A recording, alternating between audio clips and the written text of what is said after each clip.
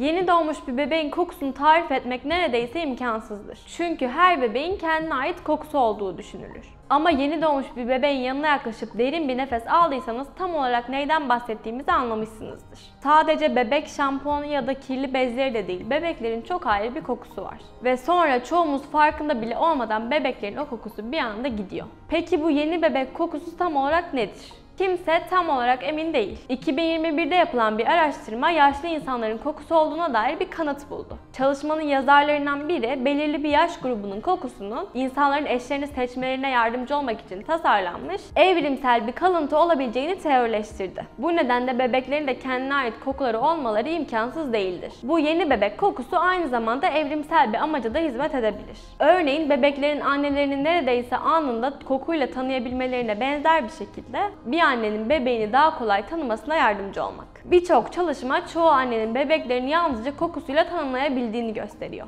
Ayrıca bu koku bir annenin bebeğiyle bağ kurmasına da yardımcı olabiliyor. Frontiers in Psychology tarafından 2013 yılında yapılan bir araştırma, kadınlara üzerinde kendi bebeklerinin kokusu olmayan bir fanila verildiğinde beyinlerinin ödül merkezinin aydınlandığını buldu. Kadınların kendileri anne olsa da olmasa da bu doğruydu. Babalara da faydası olabilir. 2008 yılında marmoset maymunları üzerinde yapılan bir araştırma, yeni doğan bebeklerini koklayan babaların testosteron seviyelerinde bir düşüş olduğunu gözlemledi. Bu da onları bebeklerinin ve ailesinin ihtiyaçlarına odaklanmaktan alıkoyabilecek dış zorluklara karşı karşıya kalırken bebeklerine karşı daha hoşgörülü hale getirebilir. Yeni bebek kokusunun aslında amniyotik sıvı, bakteri, anne sütü ve genellikle tatlı kokulu bir kokuda arayamayacağınız diğer bileşenlerin bir kombinasyonu olduğu ortaya sürülmüştür. Hatta bir bilim adamının söylediğine göre bebek kokusu 250 kimyasalın bir kombinasyonu. Yani yeni bebek kokusunu yeniden yaratmak pek olası değil.